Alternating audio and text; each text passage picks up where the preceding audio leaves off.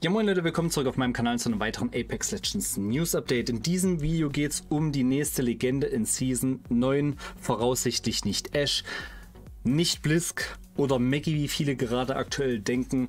Ähm, es ist eine völlig andere Legende, über die habe ich auch schon mal gesprochen. Zwei Videos habe ich darüber schon mal gemacht, die zukünftigen Legenden in Apex Legends. Das erste Video ist wahrscheinlich schon über anderthalb Jahre her. Ein Jahr später habe ich so ein Video nochmal gemacht. An dieser Liste hat sich natürlich noch einiges getan, auch an den Fähigkeiten noch ein bisschen, weil ich sämtliche Namen hatte, sämtliche Fähigkeiten. Äh, also können wir davon ausgehen, dass das ein Stück weit auch passt, was ich jetzt hier erzähle, auch wenn es nicht der hundertprozentige Beweis ist, und ich gehe noch mal ganz kurz auf den in Anführungszeichen absichtlich sage ich das versteckten Bangalore Smoke Nerf drauf ein. Das war ein Fehler. Gehe ich ganz zum Schluss aber noch mal das war kein Fehler, das ist tatsächlich so passiert.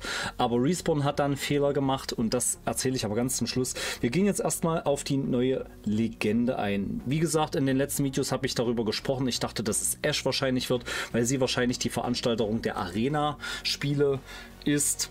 Das muss jetzt aber auch nichts heißen. Viele, wie gesagt, vermuten auch Maggie dahinter. Es gibt aber in den vergangenen vielen Trailers, in den letzten Seasons gab es so viele andere Charaktere, ähm, die man da als nächste Legende reininterpretieren kann dass es schwierig ist, da eine vernünftige Aussage zu treffen. Es geht aber erstmal um ein Interview mit einem Respawn-Mitarbeiter und der hat nämlich durchblicken lassen, dass gerade die japanischen Leute sich sehr über die nächste Legende in Season 9 freuen werden, weil sie sehr populär sein soll. Es wird eine asiatische Legende. Schlauer Schachzug. Die Nintendo Switch ist sehr beliebt in Japan. Ich glaube, sie steht auch noch weit über der PlayStation und deswegen ist es nur ein kluger Schachzug, dass bis jetzt die Optik der Legende natürlich nicht feststand und es eine asiatische wird. Finde ich natürlich wirklich sehr, sehr schlau.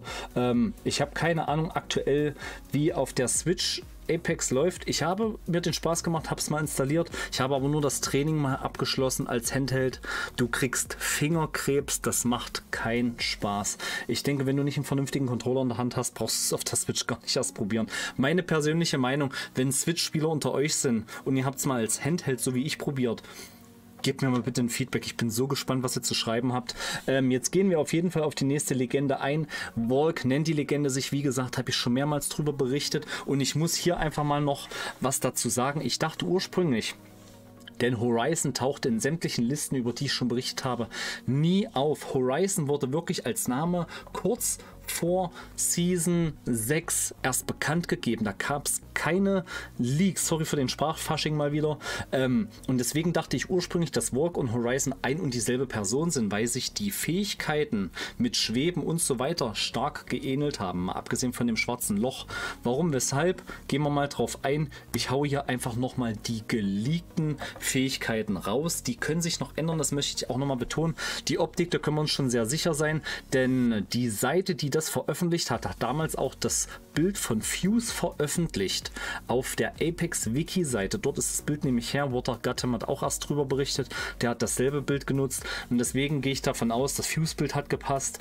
Ähm, das war dieselbe Animation. Wir haben die ganzen Legenden im Auswahlbildschirm schon gesehen. Ihr seht auch unten in der vorletzten Reihe sieht man Ash. Ash ist in der Liste, Blisk in der Liste.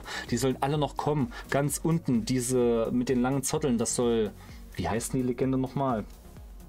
Ist ja auch voll völlig egal. Äh, Prophet hieß die Legende, äh, glaube ich. Aber wie gesagt, an diesen ganzen Sachen sollte das meiste feststehen. Einiges könnte sich aber noch ändern. Die taktische Fähigkeit zum Beispiel ähnelt sehr stark Fuse mit der Clustergranate. Hier steht halt, feuert eine Rakete ab, die mehrfach explodiert. Eben wie eine Clustergranate. Und äh, links das Bild, da lang das ist die Wiki Apex Seite. Dort steht Cluster Missile. Ähm, von daher werden wir mal sehen, wie genau das funktioniert. Vielleicht ist die taktische auch völlig anders. Die taktische, äh, nee, passiv könnte sich auch noch was ändern. Aber die passive ist sehr, sehr interessant. Hold Jump, also halte die Sprungtaste gedrückt und du gehst in eine Art Jet-Modus, Hovercraft-Modus über. Und das war die Fähigkeit, wo ich ursprünglich dachte, ist das vielleicht Horizon, bevor sie rauskam. Mit diesem Pick-Me-Up ist ja ungefähr so das gleiche. Ähm, und die ultimative Fähigkeit ist auch sehr interessant und die Teammates können sich dieser ganzen Geschichte nämlich anschließen. Ihr aktiviert das und ich denke, dann hat, äh, haben deine Teammates ein paar Sekunden Zeit, sich dem anzuschließen und dann geht ihr ähm, werdet ihr wahrscheinlich in die Luft katapultiert und geht dann in den Skydive über. Das ist sehr interessant und ich könnte mir vorstellen, dass es ungefähr so abläuft ähm, wie bei dem Holo-Bash-Event also dem Train-Event, wem das nicht sagt, oder eben, wo das Mirage Voyage-Schiff noch auf Kings Canyon war, diese Katapulte, die dich nach oben geworfen haben, damit du von dem Schiff wieder runter konntest. Da bist du ja auch in den Skydive übergegangen oder so ähnlich wie bei einer Zipline. Warum Zipline? Das sage ich bewusst, denn es kann sein, dass sie als zusätzliche passive Fähigkeit die Fähigkeit besitzt, dass nicht nur Borg, sondern auch deine Teammates schneller im Skydive unterwegs sind.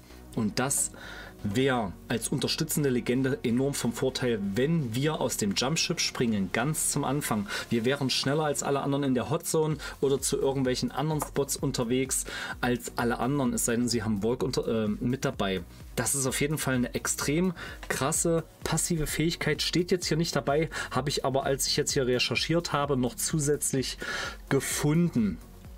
Deswegen bin ich auch sehr, sehr gespannt, was ihr in den Kommentaren alles zu erzählen habt, wie ihr diese Legende findet, wenn sie denn so kommt. Wie gesagt, Leaks kann so, muss aber nicht. Das machen wir jetzt mal weg. Jetzt gehen wir noch schnell auf den Bangalore Nerf in Anführungszeichen ein. Da habe ich vor kurzem drüber berichtet. Bangalore und Caustic versteckter Nerf. Die Partikel vom Gas und vom Smoke wurden verringert, sodass man eine klarere Sicht als Gegner, wenn man da durchläuft, hat. Das war so wohl nicht beabsichtigt. Zumindest schreiben sie das hier vom Bangalore. Von Caustic ist hier nicht die Rede. Ähm, aber es war wohl keine Absicht. Das heißt, alle Bangalore-Mitspieler äh, nicht Mitspieler, alle Bangalore-Spieler, die sich darüber aufgeregt haben. Jetzt ist da die Smoke relativ nutzlos, auch wenn ich selber für mich persönlich sagen muss, seitdem die Season draußen ist, seitdem der Patch da ist, ich habe nicht das Gefühl, dass ich eine klarere Sicht durch den Rauch hatte. Auch hier gerne mal ein Feedback. Aber wie gesagt, für alle, die das so empfinden, das wird überarbeitet, das wird rückgängig gemacht. Wann, wie lange, keine Ahnung. Und es soll morgen habe ich jetzt weitere Details leider nicht parat, aber morgen soll ein Hotfix kommen, der wohl nicht alle Probleme, die in Season 8 gerade vorherrschen, aber die meisten Probleme behebt. Welche genau kann ich euch leider nicht sagen. Auf jeden Fall sind die Soundbugs aktuell mit die schlimmsten, wie ich finde. Ähm, ansonsten lassen wir uns einfach mal überraschen. Ladies and Gentlemen, das soll jetzt alles zu der ganzen Geschichte rund um die neue Legende in Season 9 gewesen sein. Lasst mich wie gesagt in den Kommentaren wissen, was ihr davon haltet. Ja, nein, vielleicht, geile Idee. Hättet ihr euch vielleicht lieber Ash oder Bliske gewünscht oder eben Maggie. Wie gesagt, Maggie steht nicht in den Gamefiles. Wenn ihr sie euch so sehr wünscht, schickt mir gerne in den Kommentaren auch eure Ideen, was Maggie vielleicht für Fähigkeiten haben könnte. Vielleicht kommt es ja noch, ich glaube aber nicht dran. Das soll es jetzt von mir gewesen sein.